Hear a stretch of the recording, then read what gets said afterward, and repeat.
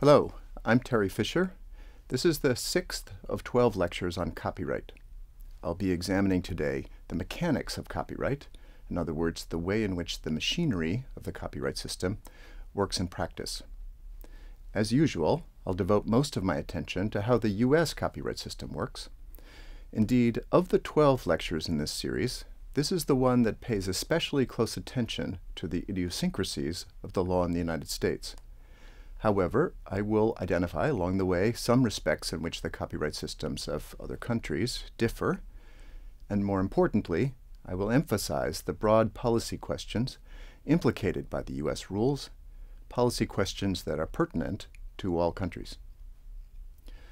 Also, as usual, I will be supplementing my presentation with various audiovisual materials, which are best seen by watching the lecture on a computer or a device with a reasonably large screen.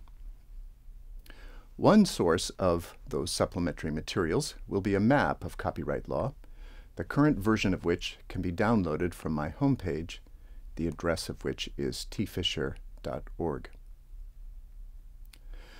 The machinery of the copyright system is intricate, surprisingly so. I will not attempt today to catalog all of its details. Instead, I will concentrate on three important dimensions of this machine. First, the roles played by formalities. Second, the rules governing how long copyrights last. And third, the aspects of the system that attempt to protect vulnerable artists and their families from exploitation. We'll begin with formalities. Until quite recently, the United States, unlike most countries in the world, extended copyright protection only to authors who had complied with some administrative requirements, known as formalities. These administrative requirements were not especially burdensome, but they were important.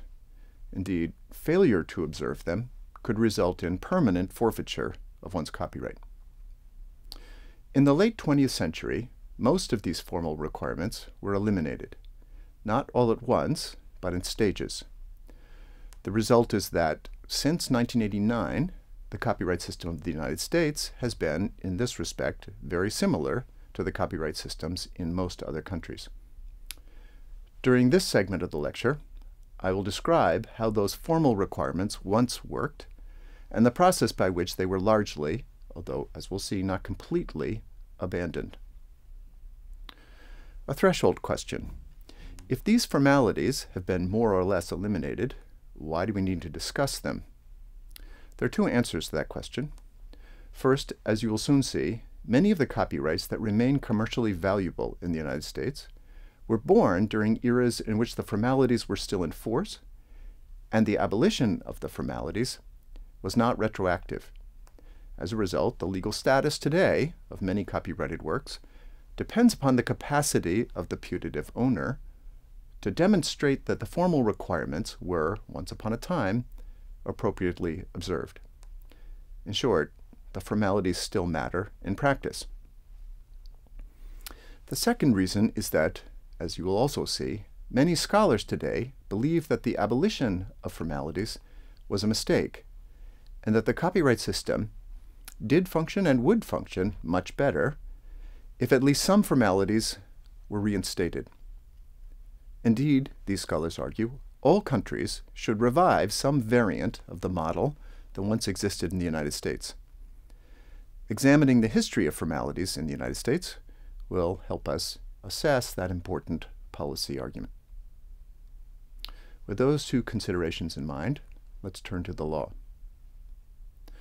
The slide on your screen summarizes the changing status in U.S. law of the three most important formalities I hasten to add that this chart is not comprehensive. It focuses on, as I say, the most important requirements. If you're hungry for more information on this subject, follow the branch of the map that summarizes the history of formalities. You'll find there a link to an excellent article by Professor Jane Ginsburg on pages 13 and 14 of her article. You'll find a chart that contains much more detail than the one on your screen. So with that cautionary note, let's focus on the main themes. To make sense of this field, you need to differentiate three eras in the legal history of copyright in the United States.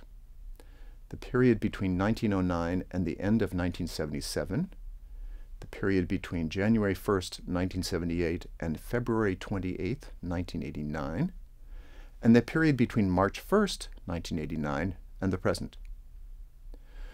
The first of these eras was governed by the 1909 version of the federal copyright statute.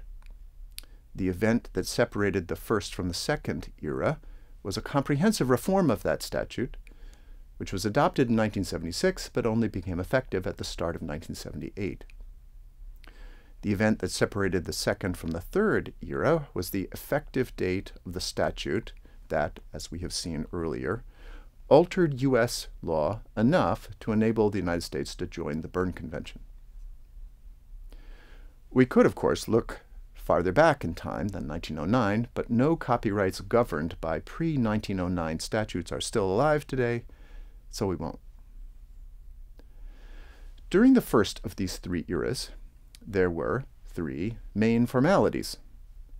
The most important, and for authors, the most dangerous, was the notice requirement.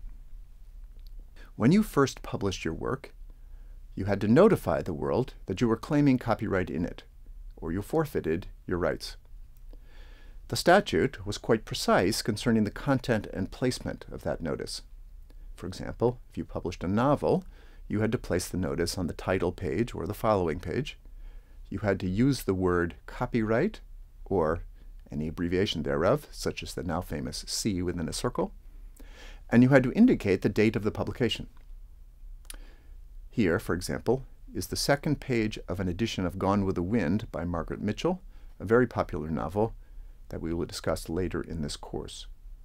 The crucial material is indicated here.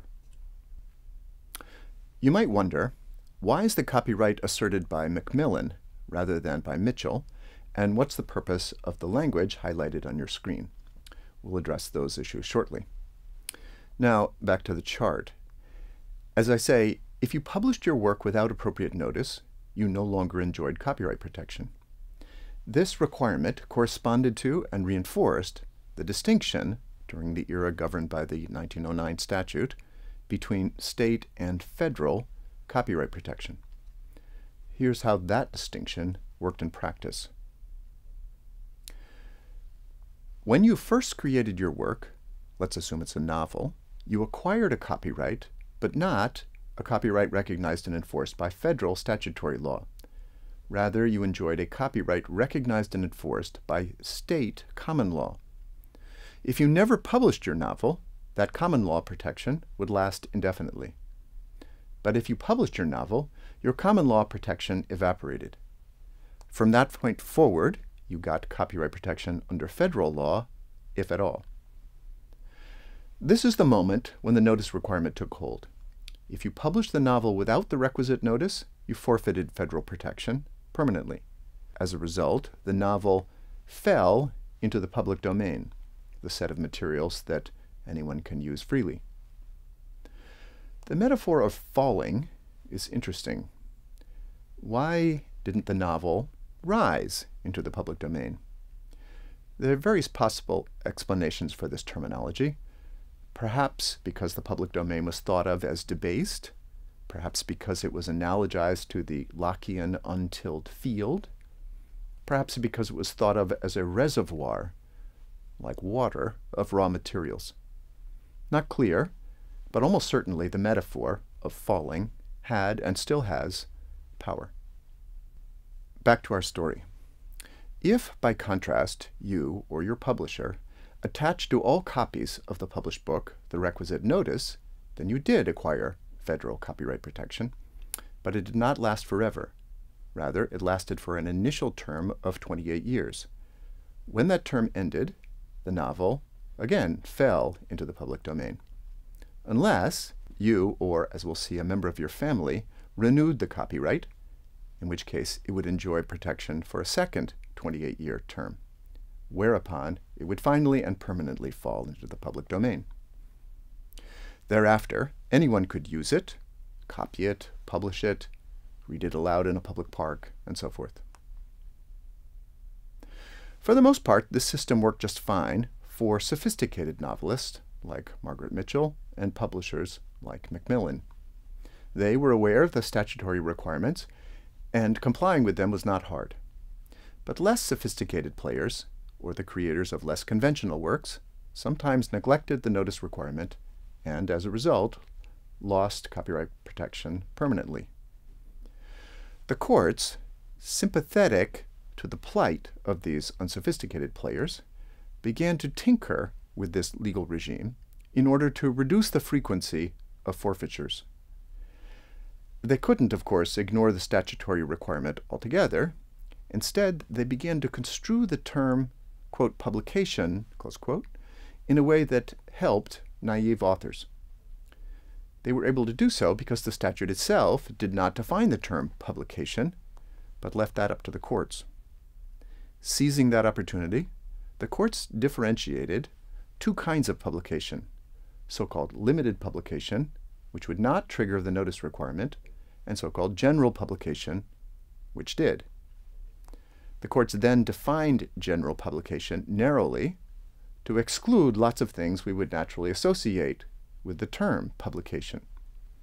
For example, they held that making and distributing a sound recording of a musical composition did not result in publication of the composition, and that giving a public lecture did not result in publication of the lecture unless you passed out unrestricted copies of the text to your audience. Here's an important and illustrative case, the outcome of which hinged on this counterintuitive definition of publication. On August 28, 1963, the Southern Christian Leadership Conference organized a march in Washington, D.C. in support of the civil rights movement.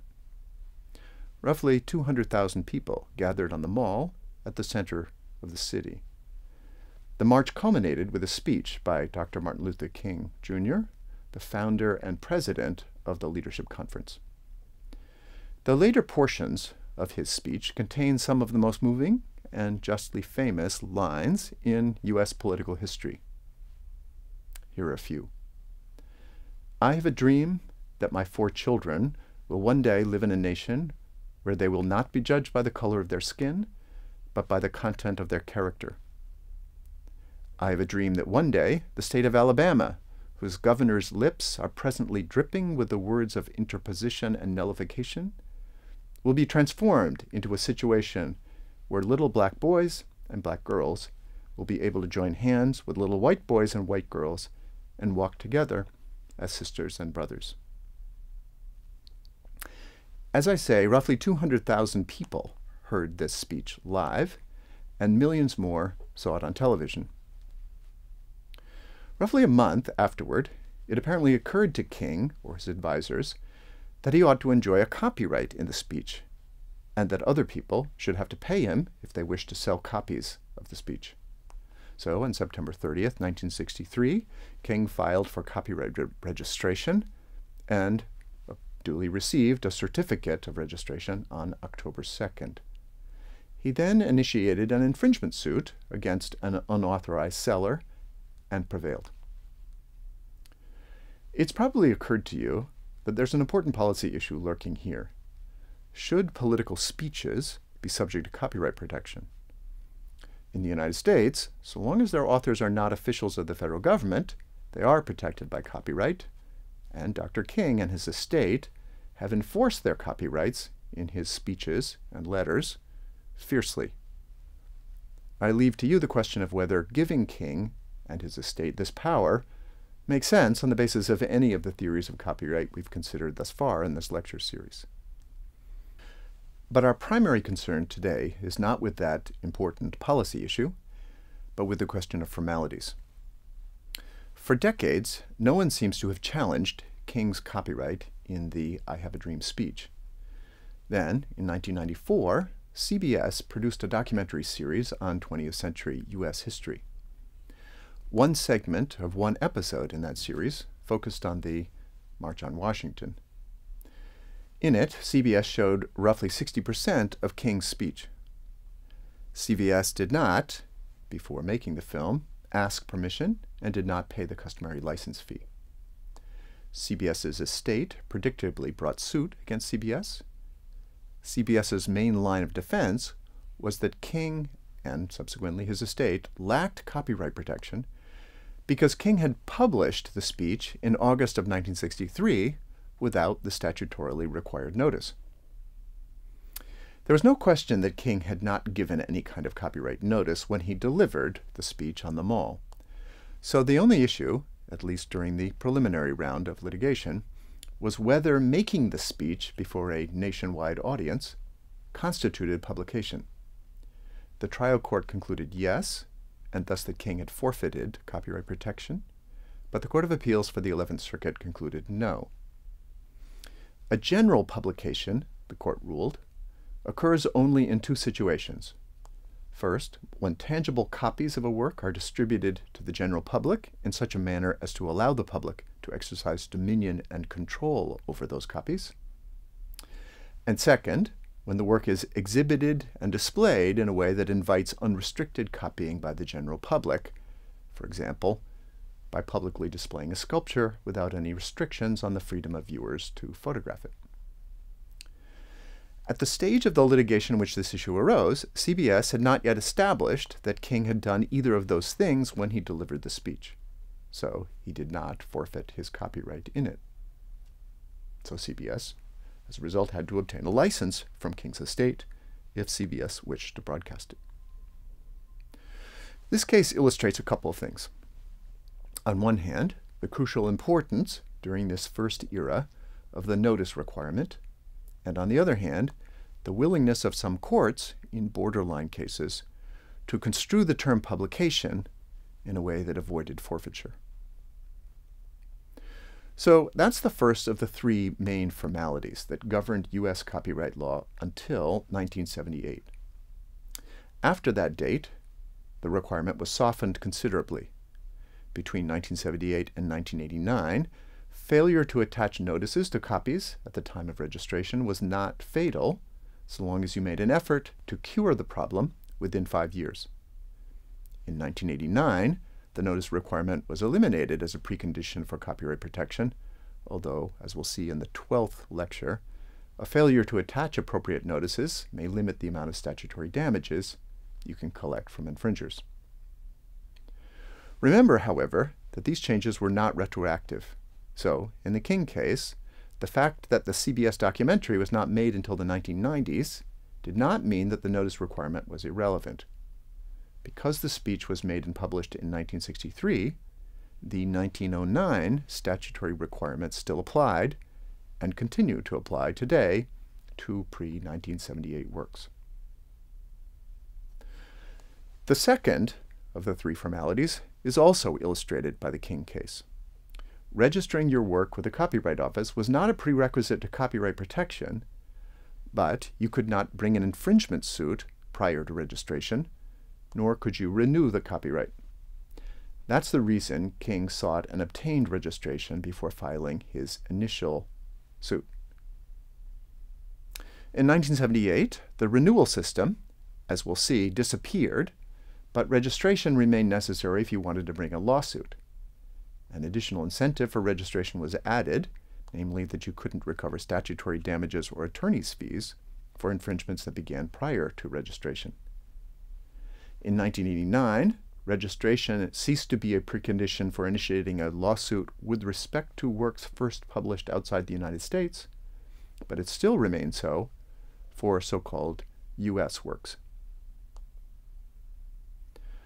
The softest and least important of the formalities was the requirement that authors deposit two copies of their works with the Library of Congress within three months of publication, basically to an in order to help the library build its collection. Failure to comply exposed you to escalating fines. If, after being notified by the Copyright Office, you still refuse to comply, you could forfeit your copyright, although this seems to have been rare. Forfeiture was eliminated as a sanction in 1978, and that regime continues to the present. So that, in brief, was how the U.S. system of formalities worked and how it has been radically cut back. As we've seen, the system had two unfortunate effects. First, it sometimes resulted in inattentive authors losing their copyright protection altogether.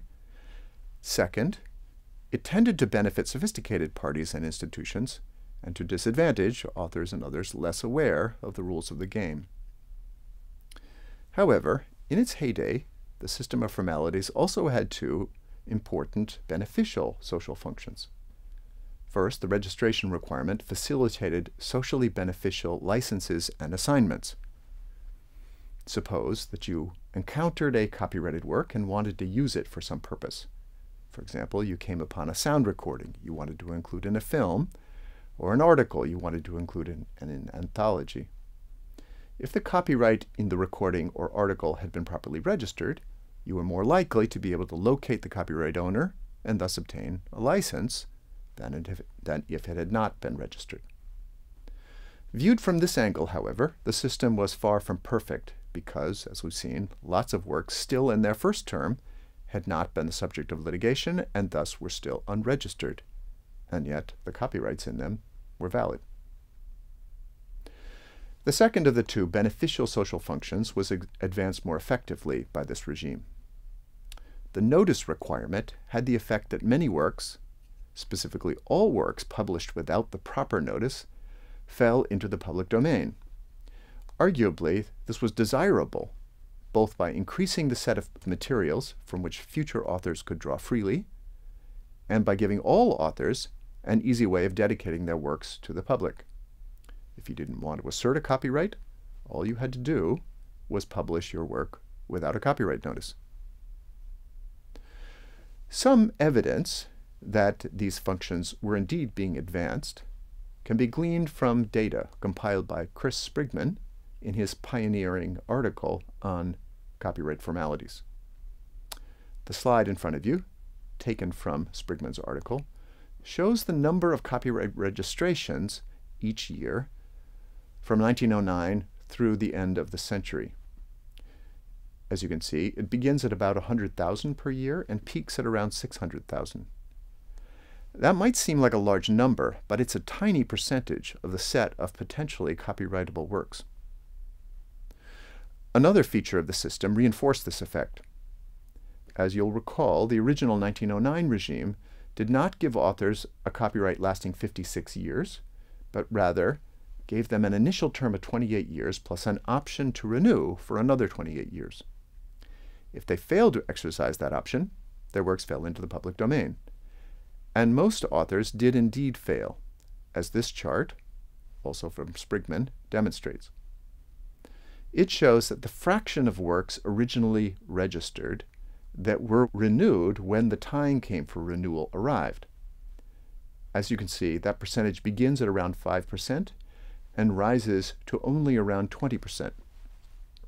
In other words, the large majority of registered works were not renewed and thus went out of copyright after only 28 years, thus contributing to the public domain reservoir. The general principle underlying the system is that copyright was an opt-in regime. If you wanted a copyright, you had to affirmatively acquire and keep it. If you didn't, you lost it. By contrast, the current U.S. regime and the copyright regimes in virtually all other countries is an opt-out system. Copyright protection, as we've seen, arises automatically. If you don't want a copyright in one of your works, you have to act affirmatively to give it up, and it's not easy to do so. Graphically, this difference can be characterized as follows. This, as you now know, is the original 1909 system. By contrast, this is how things work today. As soon as you create a work, more specifically, as soon as you fix it in a tangible medium of expression, federal copyright protection automatically arises. You don't need to wait until publication. And protection lasts not for 20 years or even 56 years, but for your lifetime plus an additional 70 years. Somewhere along this timeline, you or your heirs or devisees may publish the work, and as we'll see, publication has some important legal effects, particularly if it's a work for hire. But publication does not alter the existence of the copyright. When the term expires, the work will, as usual, fall into the public domain, but that won't be until long after you're dead. Before then, it's possible to give up your copyright by dedicating it to the public domain, but that, as I say, is hard and rare.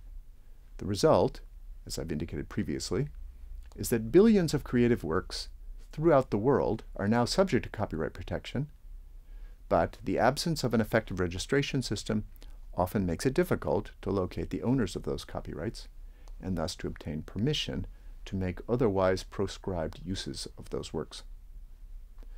The result is needless impediments to cumulative or derivative artistic progress.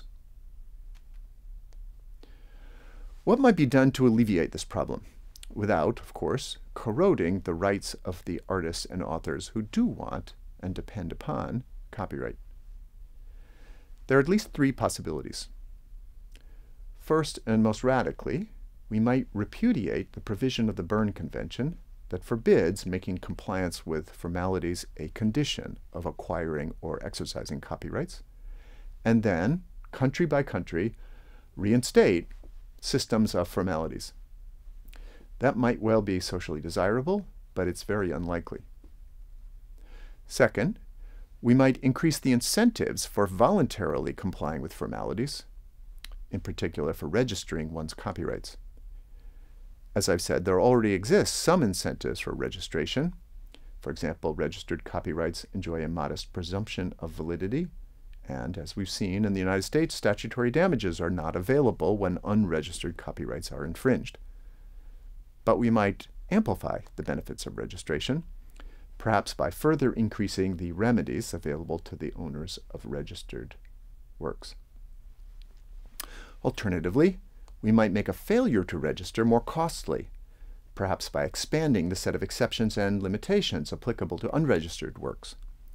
But in so doing, we'd need to be mindful of the constraints imposed by the so-called three-step test contained in the Berne Convention and the TRIPS Agreement, which I discussed in the first lecture. The third of the three possible responses would be to provide a mechanism that makes it easier for authors and artists to donate some or all of their entitlements to the public. To make, in other words, a credible and enforceable announcement to the world that they will retain and exercise only some of the rights that the copyright system automatically confers upon them. That's basically the idea behind Creative Commons, the brainchild of Larry Lessig. Creative Commons makes available to copyright owners a set of standardized licenses that they can grant to the public at large by attaching appropriate notices to copies of their creations. As we saw in the King case, attaching a copyright, a copyright notice to copies of one's work was once essential if one wanted copyright protection. The Creative Commons notices do the opposite they signal to the world that the copyright owner wishes to give up some or all of the rights he or she acquires automatically. The following short video from Creative Commons itself shows how these notices work.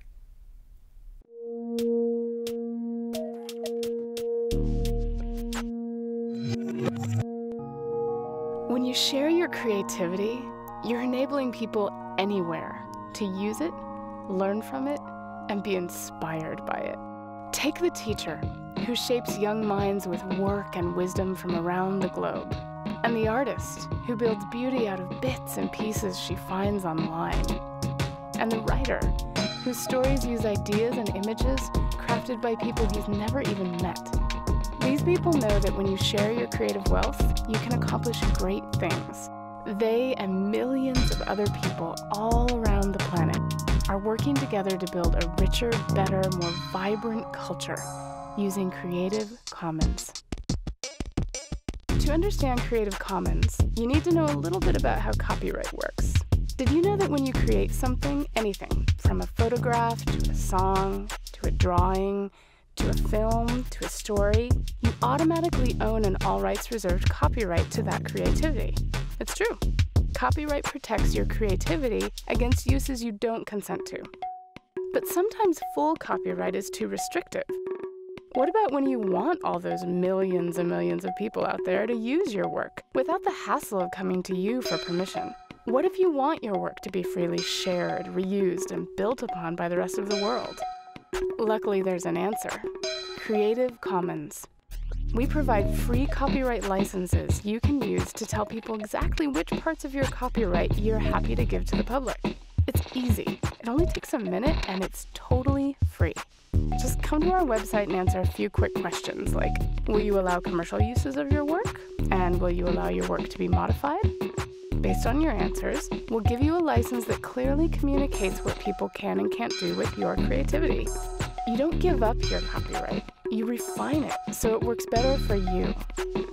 Welcome to a new world where collaboration rules.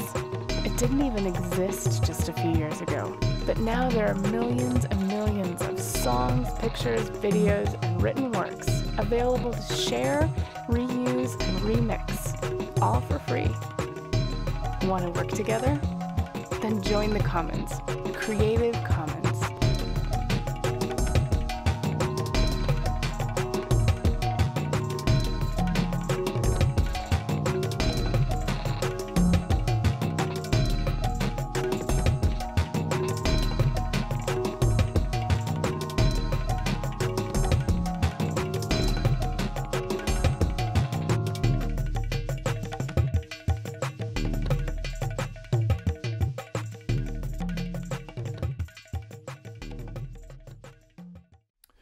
If you're persuaded by this video and follow the narrator's instructions to go to the Creative Commons website, you will find there six main licensing options, which give you and other authors a variety of sets of rights that you and they may decide to retain or surrender.